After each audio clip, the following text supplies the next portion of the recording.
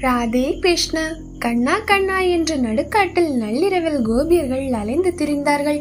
கண்ணன் லீலைகளை பாடி அவனை புகழ்ந்து வஞ்சகன் என்று இகழ்ந்து விறக கடலில் தவித்தனர். ரொம்பவே ஒருத்தங்களை அழ வச்சா நல்லா இருக்காது. அதனால கோபியரோட கண்ணீரை துடைக்க நம்ம ஹீரோ என்று கொடுக்க போறாரு.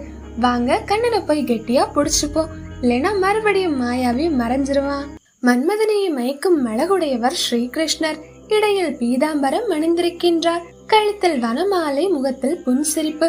இந்த தோற்றத்தோடு கோபியர்கள் முன்பு கண்ணன் தோன்றினான் உயிர் போய் உயிர் வந்தது போல் தங்கள் நன்முக்குரிய கண்ணன் திரும்பி வந்ததை பார்த்த கோபியர்கள் முகம் முழு நிலவிற்கு சமமாக பிரகாசித்தது. அனைவரும் ஒரே நேரத்தில் திடீரென எழும்பி கண்ணனை சுற்றி வளைத்தனர். கண்ணனை கண்ட மகிழ்ச்சியில் ஒரு கோபி என்ன செய்தாள் என்றால் கண்ணனின் கைகளை தன் இரு கையாலும் பிடித்தாள். இன்னொருத்தி கண்ணன் கையை பிடித்து தன் தோள் மீது போட்டுக்கொண்டாள் மற்றொரு கோபி கண்ணன் சுவைத்து உமிழ்ந்த தாம்பூலத்தை தன் வாயில் எடுத்துக்கொண்டாள். தாபம் கொண்ட இன்னொரு கோபி பகவான் திருவடியை தன் மார்பில் ஒத்திக்கொண்டாள் இன்னொரு புறம் ஒரு கோபி கண்ணனிடம் ஊடல் கொண்டு கோபத்தால் புருவத்தை நிறுத்தி உதட்டை கடித்துக்கொண்டு ஓரக்கண்ணாலேயே கண்ணனை குத்துபவள் போல் பார்த்து கொண்டிருந்தாள். இன்னொரு கோபி கண்ணி மிக்காமல் கண்ணன் பூமுகத்தை சுவைப்பவள் போல பார்த்து கொண்டிருந்தாள். ஒருத்தி கண்வழியே கண்ணனை இதயத்தினுள் நிறுத்தி கண்களை மூடி கண்ணனை அணைத்தாள். யோகி போன்று அவள் ஆனந்தத்தில் மூழ்கிவிட்டாள். இப்படி கண்ணனை கண்ட கோபியர்கள் மகிழ்ச்சி அடைந்து விரகதாபத்தை விட்டனர். துன்பங்கள் அனுபவித்த பிறகே பேரின்பம் கிடைக்கின்றது. இந்த நேரத்தில் கோபியர்கள் கண்ணனை பார்த்து பார்த்து பரவசம் அடைகின்றனர் இனிமே கண்ணனை கோபியர் தனியா விடுவாங்களா? கண்டிப்பா தனியா போக விட மாட்டாங்க கண்ணா நீ எங்க போனாலும் நாங்க உன் கூட தான் வருவோம்னு கண்ணனை கெட்டியா புடிச்சிட்டாங்க. கண்ணனும் வாங்க போகலாம்னு கோபியர் அழைச்சிட்டு யமுனையின் மணல் திட்டுக்கு போறாங்க. பூக்களின் வாசத்தை காற்று திருடிக்கொண்டு அனைவர் உள்ளத்தையும் குளிரச் செய்தது. கோபியரை யமுனை கரை மணலில் அவர்களுடைய மேலாடைகளை விரித்து கண்ணனுக்கு அழகான இருக்கை அமைத்தார்கள். யோகியர் இதயத்தை இருப்பிடமாக கொண்ட பகவான் கோபியர் அமைத்த இருக்கையில் அமர்ந்தார். கோபியர் நடுவே கண்ணன் அமர்ந்து கொண்டு புன்சிரிப்பாலும் கள்ளப்பார்வையாலும் கோபியரை மகிழ்ச்சியடைய செய்தான். கோபியர் கண்ணன் கையை பிடித்து பாராட்டிக்கிட்டே மெதுவா கோபத்தை காட்ட ஆரம்பிச்சாங்க.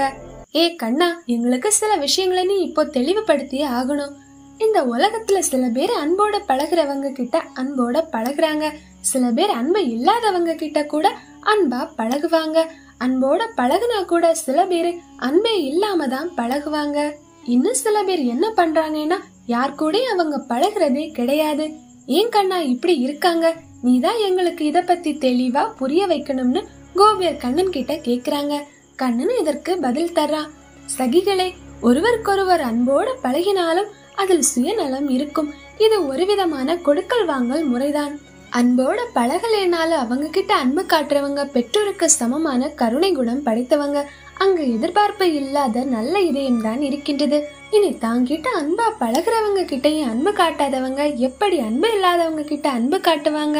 இவர்கள் சில நேரம் செய் நன்றி மறந்தவர்களாகவும் தீமை செய்யக்கூடிய துரோகிகளாகவும் இருக்கலாம் அல்லது ஆத்மானந்தத்தில் மூழ்கியவர்களாகவும் இருக்கலாம்.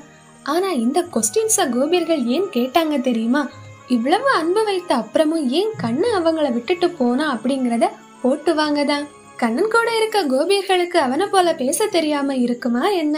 இதுக்கு பதிலா கண்ணன் சொல்றான் கோபியரே நான் இவர்கள் அனைவருக்குமே மாறுபட்டவன். என்னிடம் அன்பு கொண்டவர்கள் அன்புடன் பழகியவர்கள் என்னிடம் தொடர்ந்து அன்பு காட்ட வேண்டும் என்ற எண்ணத்தால் தான் நான் சற்று விலகி இருப்பேன் ஏழையாயிருப்பவன் திடீரென வசதி வாய்ப்பை பெறுகின்றான். அதை அவன் இழந்துவிட்டால் அதை பற்றிய நினைத்து நினைத்து வேறு சிந்தனை இல்லாமலேயே இருப்பான் அல்லவா? அதுபோலத்தான். அதாவது கண்ணன் என்ன சொல்ல வரான்னா கோபியரை விட்டு கண்ணன் பிரிஞ்சு போனனால கண்ணா கண்ணன்னு அவங்கள மறந்து கண்ணனுக்குள் கண்ணன் ஆகி நின்றாங்க.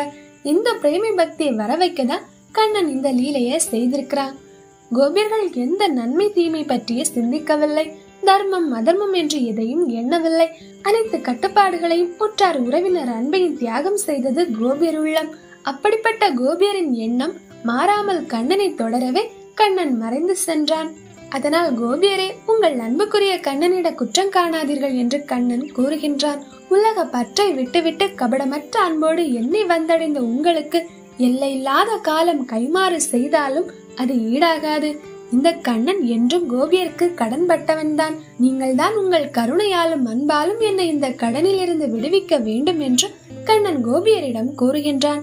இதுதான் தூய்மையான அன்பிற்கு அடையாளம். கோபியரும் கண்ணன் பேச்சில் விரகதாபத்தை விட்டனர். அவர்கள் மகிழ்ச்சிக்கும் எல்லை இல்லாமல் போனது. மகிழ்ச்சியின் ஆனந்தத்தில் ராச நடனமும் ஆரம்பிக்கின்றது. அதை கண்ணனுடனான அடுத்த பயணத்தில் அறிந்து கொள்ளலாம். கண்ணனை கெட்டியா பிடிக்கதான் கண்ணன் நம்மளை விட்டு விலகி நிற்பான். நம்ம கண்ணன் ஒருவேளை உங்களை விட்டு தூரமா போற மாதிரி நீங்க ஃபீல் பண்ணீங்க அப்படின்னா நீங்க கண்ணனை இன்னும் கெட்டியா பிடிக்கணும்னு அர்த்தம். உங்ககிட்ட கண்ணன் இன்னும் நிறைய அன்பை எதிர்பார்க்கிறான் அப்படிங்கறதா ஒரே ஒரு அர்த்தம். இதை நீங்க மனசுல வச்சுட்டு உங்களோட உண்மையான அன்பை கண்ணனுக்கு சமர்ப்பியுங்க. அதுதான் வேண்டும். நம் அன்பில் குறை இருந்தாலும் கண்ணன் அன்பு ஒருபோதும் குறையாது. கண்ணன் அன்பிற்கு ஈடு இணையே இல்லை. அதை நீங்கள் உணர்ந்து கொள்ளுங்கள். ராதே கிருஷ்ணா. இந்த வீடியோ உங்களுக்கு பிடிச்சிருந்தா மறக்காம வீடியோவை லைக் பண்ணுங்க ஷேர் பண்ணுங்க கமெண்ட் பண்ணுங்க. அடுத்த சூப்பரான வீடியோல சந்திக்கலாம். கிருஷ்ணா கிருஷ்ணா ராதா ராதா.